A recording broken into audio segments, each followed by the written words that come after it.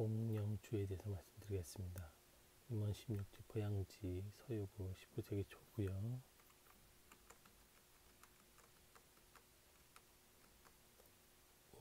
원문입니다. 또 다른 방법에서 복령가루를 누룩과 쌀과 함께 섞어 술을 빚어 마신다. 도발적인 두통으로 인한 어지러움증을 치료하고 허리와 무릎을 따뜻하게 해주고 주로 오로칠상을 치료한다 되어 있습니다. 조리법입니다.